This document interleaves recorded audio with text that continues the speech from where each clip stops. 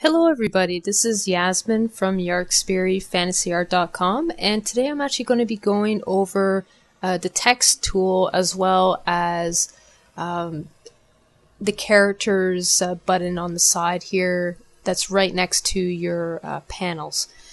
So let's start with the panels first though because there's a lot of settings that are actually very useful but you need to be aware of what these settings are. So right now I have my text set to uh, Times New Roman, which is a standard font uh, that's available on any computer. Uh, so this is probably the best font to use if you're trying to get used to different applications of uh, these settings. Uh, so if you look on the top here, uh, in the characters um, panel here, you have a little drop down menu where you can change the font. which is obviously pretty useful. I have some customized fonts myself, but for the example that we're going to do, um, we're going to stay with Times New Roman. Now, you do have the option to, uh, which not too many people are aware of.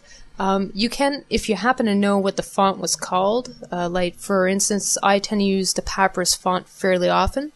Uh, you could actually type that in, and it will automatically fill it up and then change the font for you. Uh, so that's a really good tool to have um, because it saves you a lot of time if you already know uh, what you're trying to do. So I'm just going to change that back to Times New Roman because I don't want to change this. Okay, uh, so in here you have, uh, once again, you have a little drop down menu. You have your presets uh, for your font size. Now uh, mine is set to fairly large and this is essentially a customized size. What you can do too is you can also just uh, double click in here and automatically change the size to what you need it to. Um, so that's really useful. In this box underneath uh, the text size, you have an um, and what this does is it changes your settings uh, for how much space is put between each character. So in this case, I have mine set to zero, so it's the, the normal preset. But let's say I wanted uh, an extra space between the P and the A for some reason. Um, I can change that. So let's just put it at 75 and you can see that the spacing changes between those two letters only. Uh, so this is useful for a couple of reasons. Let's say you're doing graphics and you're trying to uh, get some very interesting letters uh, for your branding or your product. This is an easier way to do that. You can also have the individual letters or certain groups of letters on a different layer, uh, but this allows you to essentially just copy and paste everything all at the same time and move it in one layer. Uh, so this is where it would be useful. Now on the top right here, um, we're uh, you're going to look at it's set to Times New Roman. Um, the type of font is set to regular, but I have some options here. I can set it to italic bold and bold italic. Uh, so these are all essentially settings that you would find in WordPad. However, uh, in WordPad, these are all separate attributes that you can change interactively. Um, and you can intermix uh, how these behave together. Uh, in Photoshop, it's a little bit different. They're saved as a separate preset. So, because Photoshop is not um, a word editing software, it's a more of a editing software in general for photography and for text.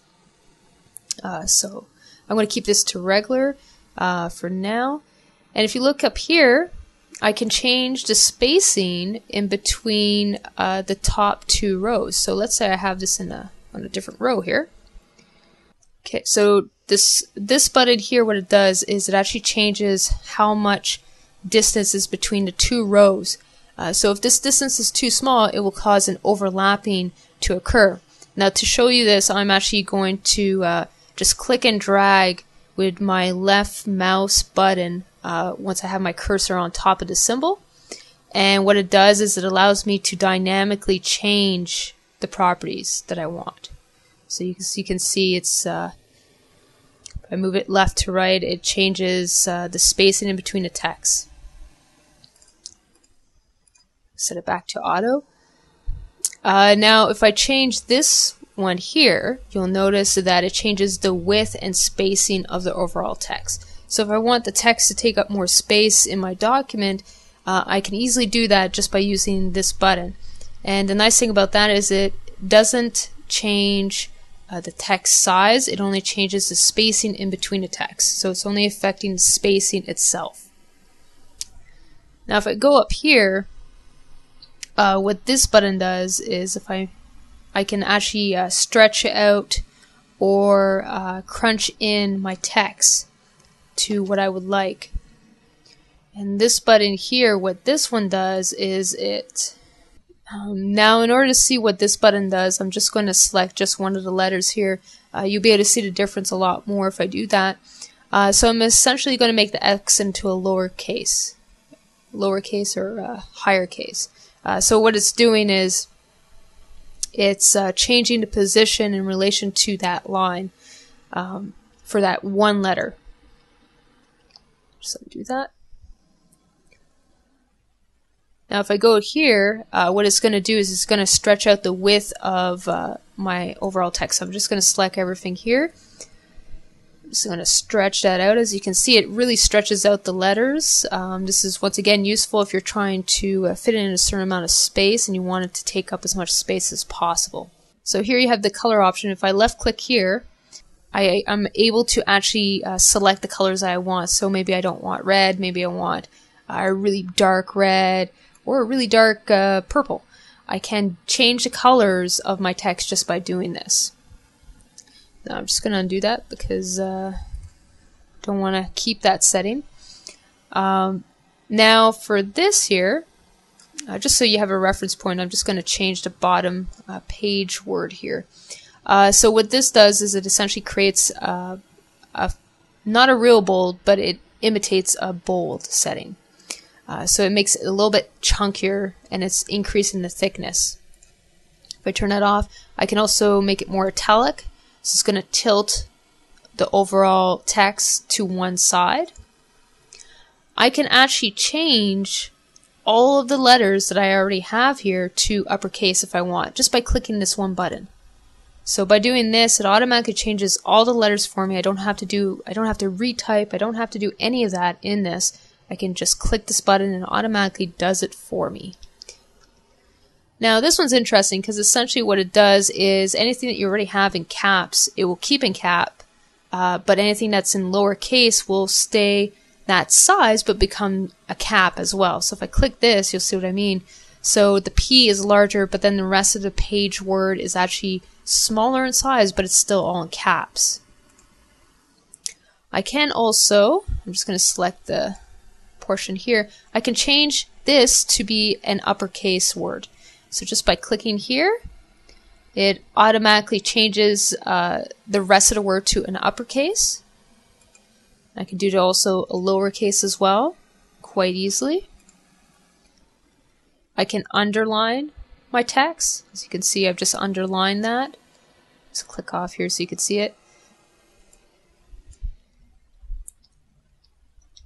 I'm Just going to undo that and I can also add a line going across. So if I uh, want to scratch out something for any reason, um, I can easily do that just by clicking this button here.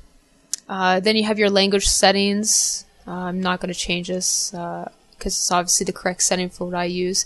Um, and here I can change whether or not I want the text smooth. So it smooths out the lines and vectorizes them a little bit more. can make strong letters. Um, I set it to none so it doesn't do anything. Uh, strong tends to be the, the default for times New Roman, so I'm going to keep that for now. But you do have a couple of different settings that you can change. Okay, so in this uh, button, you also have a second one, uh, which covers essentially these two buttons on the, the top here. So if I click here, I can change my paragraph settings. So let's say I want, I don't want everything center aligned. Um, perhaps I want it all aligned to the left. I could do that just by doing this. Do the right, center. Um, I could change if I want to have a tab.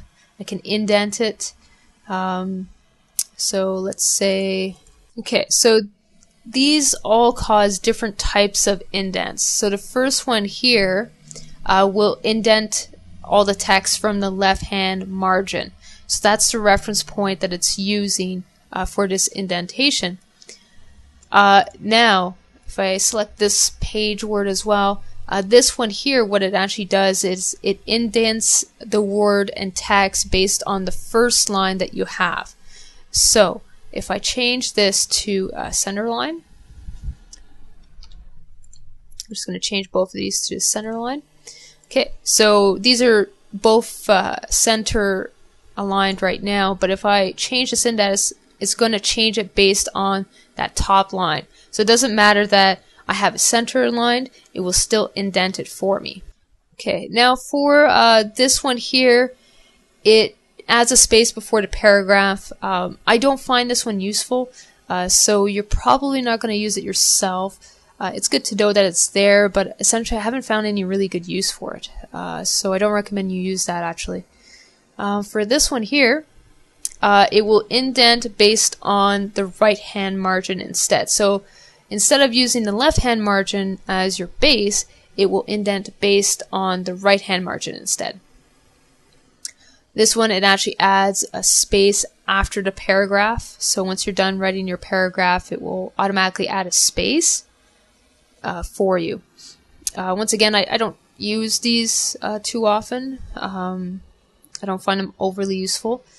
Uh, these are essentially, I use the first uh, two rows of this.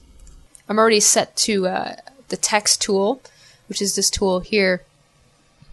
if you look on top, you'll also notice that I have additional preferences I can set.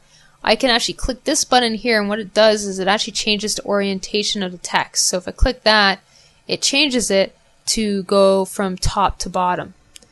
Change that again, it changes it back. Uh, once again, you could change your text type here. You can also set it to regular or whichever one you want. You can change your size. Uh, you can also, once again, change the thickness. Um, so if I if you want, you can also change how this text is displayed, if how the curves occur, and all that. Um, now you also have your parag- your basic paragraph options here. You have your color swatch once again. Now, uh, what you can do is you can click this button, and what it's going to do is it's going to bring up a, a warp text option. So I can preset it to um, arc in the lower, so add an arc uh, to that text here. And it causes it curve and deform according to what I want. But I can change also it uh, from horizontal to vertical if I want. Um, horizontal does work better because of the current direction that my text is facing. Um, you can also change how deep the setting is set, the amount of distortion. So you have a lot of flexibility in what you can actually achieve with this text. Now there's quite a few options here. Uh, each of these will have uh, different settings. Um, they do tend to use the same three basic uh, scrollers though. So once again, you can change how much uh, that's bending, uh, how much it's actually distorting, uh, based on a variety of settings. So this is a, a pretty useful tool. Um, most people probably won't end up using this, to be honest. Um, there's not too many instances when you would need this, uh, unless you're going for a very specific style. Uh, but generally, the more you distort it, you run the risk of people not being able to read it, so it's something to keep in mind. So don't go overboard if you start using this. I, as you see, can see, I never use this actually in my uh, in any of my documents. I don't find it's necessary in order to do so. So um, that's text and the paragraph options that you see on these two buttons. Uh, and that's it for this week's video. Um, next week I'll be covering actually uh, the brush presets as well as uh, your brush. So there's quite a bit to cover in next week's video. Um, and I hope to see you guys soon. So thank you and take care.